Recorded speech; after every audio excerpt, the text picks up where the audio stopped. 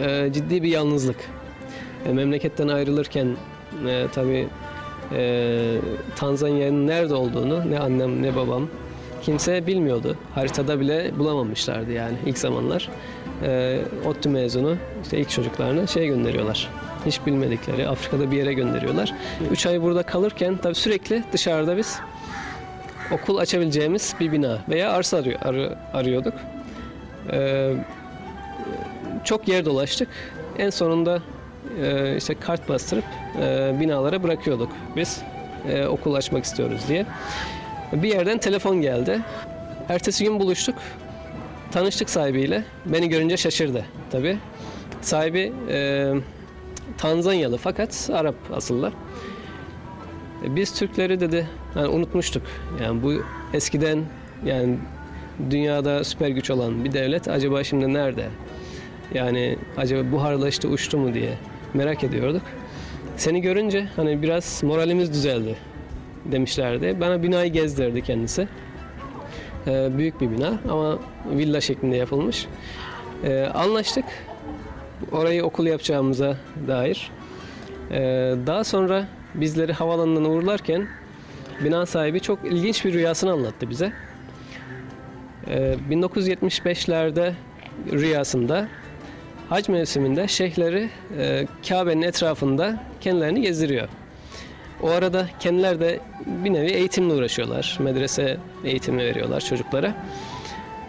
Gezdirirken şeyhi oradaki hacıları tanıtıyor e, talebelerine. Diyor ki işte bunlar Yemenli hacılar. Ee, biraz sonra işte bunlar Ummanlı bir grup. Daha sonra e, işte Somalili hacı grubu derken diyor bir grup şeye denk geldik. Beyaz insana. Bunlar da dedi ki Türklerdir. Ve bunlar sana yardıma geleceklerdir. Ve bunlar ebabil kuşları gibi olacaklar. Kendisi yani çok mutlu oluyor. Bize çok yakın davranıyor. Binasını e, bize uzun süre ve kiralamadan, kira almadan e, veriyor. Yani sanki yani biz gelmeden önce bile burada bir e, hazırlık varmış gibi. Böyle Allah bizi bu insanlarla karşılaştırdı. Yani çok güzel böyle anılarımız oldu. Baya güzel bir mekanmış hocam burası. Yani böyle miydi 14 sene önce de? Ya Hayır tabii o zamanlar böyle değildi. Yani şu anda epey bir değişiklik var. Yani şu gördüğünüz işte kapı o zaman yoktu. Bu giriş kısmı yoktu. Asıl kapı diğer taraftaydı. Öyle mi? Tabii isterseniz buyurun ben şey Var mı yapalım. mahsuru yoksa? Evet. Ee, tabii içeride de ciddi değişiklikler, tadilatlar yaptılar. Ama biz o zamanlar işte şuradaki eski kapıyı kullanıyorduk. Ee, Evet. Şu anda e, bizim ilk o arkadaşımız buraya geldiğimde beni karşılayan Abdurrahman ve amcası da burada olması Öyle mi? lazım. Tabii tabii. Yani Tanışabilir onlar da- miyiz? Tabii yani kapıyı bir çalalım. Hodi. Burada kapıyı çalarken Hodi. Hodi. diyorlar. Karibu. Aleyküm selam. Selamünaleyküm. Gani? Mzee Muhammed. Teşekkür ederiz. Jukumu ulokuwa umepewa ni kubwa sana. Alptekin'i görünce daha okuldan yeni mezun olmuş genç bir arkadaşla böyle büyük bir projeyi gerçekleştirebilir miyiz diye düşünmeden edemedim. Ancak Alptekin'le beraber kaldıkça, beraber oldukça o endişem geçti. Bu işi birlikte başarabileceğimize inandım. Ramadhani umeshakaribia, tunaukaribisha mwezi wa Ramadhani. Alptekin'i ilk gördüğümde ben de küçücük bir çocuk böylesine büyük bir projeyi nasıl başarabilir ki diye düşünmeden edemedim. Bu konuda benim de ciddi endişelerim vardı. Ancak Abdurrahman'la beraber gayretli çalışmalarını görünce ben de bu işin olacağına inandım. Zaten daha sonra bir baba oğul gibi olduk. Burası Tanzanya. Kültürü farklı, havası farklı, yemekleri farklı. Ama hiçbir zaman yüz asıklığı, memnuniyetsizlik görmedim. Evet, çok teşekkür ediyoruz. Teşekkür ederiz. Aç gönlünü açabildiğin kadar. Ummanlar gibi olsun. Kalmasın el uzatmadığın mahzun bir gönül. Evet, Tanzanya Darüsselam'daki yolculuğumuza devam ediyoruz. Sözü İstanbul'a havale ediyoruz efendim.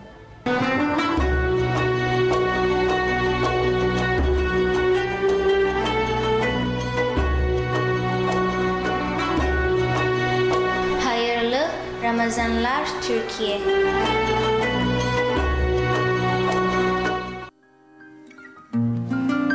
Sevgili dostlar, sizlere gerçek yaşam hikayelerinden bahsediyorum birkaç gündür. Bugünkü hikayemiz bir hüzün hikayesi. Hikayemizin kahramanı güzellik kraliçesi Burçin. Soğuk, ayaz rüzgarları Marmara Denizi'ni yalıyor, Eyüp sırtlarına hışımla boşalıyor. Hani derler ya, iyiliklere işleyen soğuk diye, kelimenin tam anlamıyla öyle soğuk bir kış günü. Pierre Loti sırtlarından bir karaltı Eyüp Sultan'a doğru sürünerek ulaşmaya çalışıyordu. Ama ayakları vücudunu taşımamakta ve bedeni çok yorgun bir şekilde Eyüp Sultan'a doğru ilerliyordu. Aşırı derecede uyuşturucu almış bir bedendi. Bir yandan Ayaz dıştan bu mecalsiz vücudu çökertiyor, diğer yandan uyuşturucu zehiri içten içe bedenini kemiriyor. Derken biraz daha ilerledi. Cami bir silüetten öte belirginleştik. Kim bilir belki de Eyüp Sultan'ın o huzur ikliminde sığınacak bir liman arıyordu. Orası meçhul olsa da buraya kendini sürükleyip gelmesi bu şekilde yorumlanabilirdi. Liman görünmüştü. Ama ne yazık ki oraya uzanacak mecal kalmamıştı. Burçin, güzellik kraliçesi Burçin hayata gözlerini yummuştu. Nice sonra fark edildi ve üzerine etraftan bulunan gazeteler örtüldü. Çok hazin bir ironi olarak üstüne örtülen gazete sayfasında alımlı, çalımlı günlerin fotoğrafları vardı. Az sonra medya oraya üşüşmüş, yerdeki cesedin kimliği tespit edilmişti. Bu güzellik kraliçesi Burçin. Hani bir yıl öncesi kameraları peşinden koşturan paparazilerin gözdesi Burçin. Uzun zamandır gözlerden ıraktı, unutulmuştu. Artık yeni gözdeler kameraların önündeydi. Bu arada Mehmet Bey raporunu hazırlamak üzere kalabalığı yarıp cesede yaklaştı. Az aralayınca gördüğü manzara ürperticiydi. O güzelim beden uyuşturucu, ze- uyuşturucu zehiriyle öyle harap olmuştu ki bakmak bile zordu. Ama ne gelir elden görevdi. İlk tespitler yapıldı. Ceset yerden kaldırıldı. Kimsesizler mezarlığında yer ayarlandı. Sade bir katılımla defnedildi. Artık bundan sonrasının haber değeri yoktu. Evet, boş yere ürkütmeye değmezdi. Bu dünya böyle kurulmuş, böyle giderdi. Mehmet Bey olay üzerine eğilir. Ne olmuştur bu dünya güzeli beden böyle heder olmuştur. İlk elde eline Burçin'in tutmaya çalıştığı günlükleri geçer. Olay bütün çıplaklığıyla orada anlatılıyordur. Güzellik seçmeleri, ardından patlayan flaşlar, etrafta kameralar, farklı bir hayat ve atmosfer. Elden tutan dur diyen bir saygın dostu yoksa iş çığırından çıkar. Haz merkezli hayat uyuşturucu tacirlerine yem olurdu insan. Burçin bir bataklığa saplandığını fark etmiş ama geriye dönüp bakınca sahilden hayli uzaklaşmış.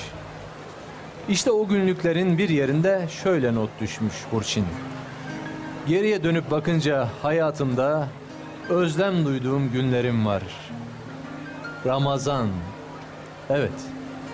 Ramazan gelir, annem başımı okşayarak sahura kaldırırdı. Babama annem, ben, büyük annem ve kardeşim öyle tatlı, öyle hoş olurdu o gece. Vakti sahur yemeği, sonra gün yaşanır. Aynı manzara iftar olarak tekrarlanır.